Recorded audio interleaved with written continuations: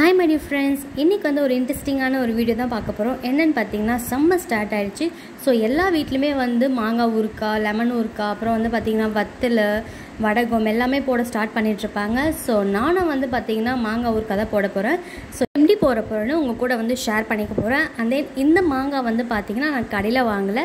எங்கள் தோட்டத்தில் வளர்ந்த மாங்காய் தான் நான் வந்து யூஸ் பண்ணி ஊறுக்காய் போட போகிறேன் ஸோ இது வந்து ஒரு ஆஃப் கேஜ் இருக்கும். ஸோ இது வந்து ஃபுல்லாக வந்து தோல் சீவிட்டு இந்த மாதிரி வந்து துருவிக்கோங்க. ஸோ துருவது வந்து கொஞ்சம் கஷ்டமாக தான் இருக்கும். இருந்தாலும் நம்மளுக்கு ஊறுக்காய் தேவைப்படுறதுனால நம்ம கொஞ்சம் ரிஸ்க் எடுக்க தான் செய்யணும்.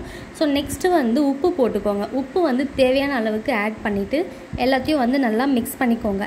மிக்ஸ் பண்ணிவிட்டு இதை வந்து நீங்கள் ஒன் வீக்குக்கு அப்படி இல்லைன்னா ஒரு ஃபைவ் டேஸ்க்கு வந்து வெயிலில் நல்லா காய் வைங்க ஓகேவா ஸோ வெயிலில் காய வச்சா தான் நம்மளுக்கு வந்து ஊறுக்காய் இன்னும் நல்லா டேஸ்ட்டாக வரும்.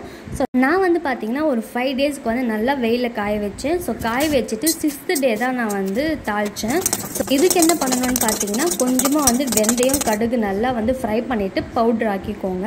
ஸோ நல்லா மைன்யூட்டாக வந்து பவுடராக பண்ணிக்கோங்க. ஸோ அந்த பவுட்ரு என்ன பண்ணணும்னா நம்ம ஊருக்காக நல்லா காய வச்சுருக்கோம்ல. ஸோ அதில் வந்து நல்லா போட்டு மிக்ஸ் பண்ணிக்கோங்க. மிக்ஸ் பண்ணிவிட்டு ஒரு கடாயில் கொஞ்சமாக வந்து எண்ணெய் ஊற்றிக்கோங்க உங்ககிட்ட வந்து நார்மல் எண்ணெய் இருந்தாலும் பரவாயில்ல. அப்படி இல்லைன்னா நல்லெண்ணெய் கூட ஊற்றிக்கலாம் ஊற்றிட்டு கொஞ்சமாக வந்து கடுகு அப்புறம் வந்து பெருங்காயத்தூள். கொஞ்சம் சால்ட்டுக்கு ஈக்குவலாக வந்து நம்ம காரமும் சேர்த்துக்கலாம். ஸோ நான் வந்து காஷ்மீர் சில்லி அதே நார்மல் சில்லி ரெண்டுமே வந்து ஆட் பண்ணியிருக்கேன். ஸோ இந்த ஊறுக்காய் வந்து நம்ம இந்த சில்லி பவுடரில் நல்லா வந்து மிக்ஸ் பண்ணிக்கோங்க. கேஸ் வந்து ஆஃப் பண்ணிவிட்டு மிக்ஸ் பண்ணுங்கள் இல்லைன்னா கொஞ்சம் தீஞ்சிரும்.